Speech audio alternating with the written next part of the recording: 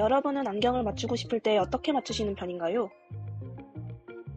아마 대다수의 사람들이 안경원에서 안경을 구매하신 경험이 있으실 텐데요. 하지만 안경을 구매하면서 안경이 어떻게 만들어지고 어떤 원리로 안경을 맞추어 주는 것인지는 모르셨던 분들이 많으셨을 겁니다. 여러분의 안경이 어떤 원리로 만들어지는지 궁금하지 않으신가요?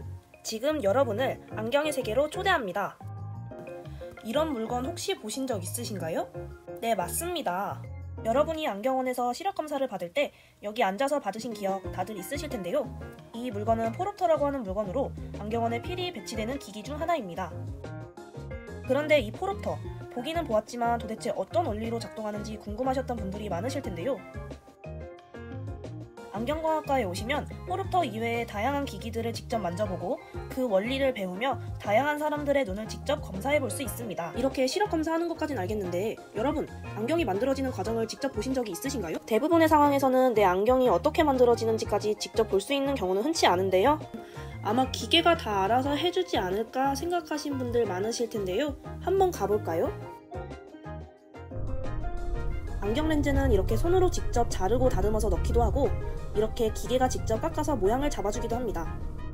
에이 뭐야 기계가 다 알아서 해주는 거면 쉽네 라고 생각할 수 있는데요. 그렇지 않습니다. 여러분 안경을 쓰다가 안경이 틀어지거나 망가져서 다시 안경원을 찾아가면 몇 분 뒤에 다시 멀쩡해져서 나온 내 안경을 받아본 경험 다들 있으실 텐데요. 바로 이것 때문에 기계가 렌즈를 깎아준다고 해서 쉽지만은 않은 것인데요. 피팅이라고 하는 이 기술은 안경사 손기술의 꽃이라고 보아도 모방할 정도인데요. 왜냐하면 이 기술은 기계가 해줄 수 없는 작업이기 때문입니다. 피팅은 안경 착용자의 얼굴에 맞게끔 테를 조정해주는 작업인데요.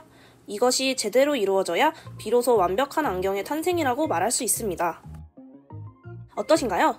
이렇게 안경광학과에서 배우고 접할 수 있는 내용을 간단하게 훑어보았는데요. 학과 인스타그램과 블로그도 운영 중이니 많은 관심 부탁드립니다. 이상으로 강원대학교 안경광학과에 대한 소개를 마치겠습니다. 여러분, 내년에 강원대학교 안경광학과에서 봐요.